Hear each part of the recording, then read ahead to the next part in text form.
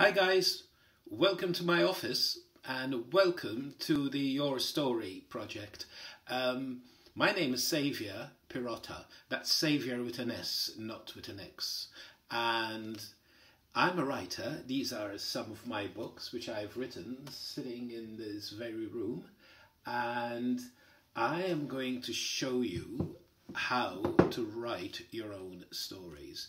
Now, some people think that to produce a good story, to be a proper writer, you have to be the super clever person uh, locked away in an attic and you start typing stories and out pops a perfect book.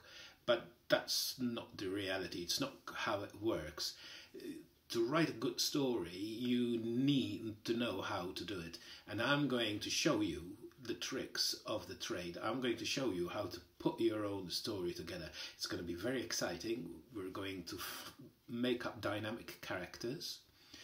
We're going to make up proper plots with problems for the characters to solve. We're going to find really captivating and interesting settings so that people will be drawn into the story. They won't be able just to read about it, but they'll be able to hear it and they'll be able to see it and they'll be able to smell the stuff that you write about. It's all up in here, not literally, of course, but they'll be able to imagine it all.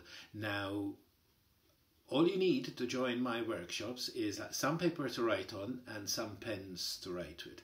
You don't need a laptop at first, you just need pens. I use colored pens um, because I like writing in different colors for different characters and I like writing on, on big A4 sheets of paper.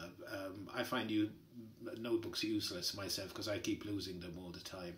So I just have like a big folder that I carry around with me. But you can write on whatever makes you happy, okay? And the things that you write on and your first notes and your first drafts are like treasure. You'll keep them forever. So just write on whatever makes you happy and join me soon for our first workshop, which is about creating characters. Bye guys, see you soon.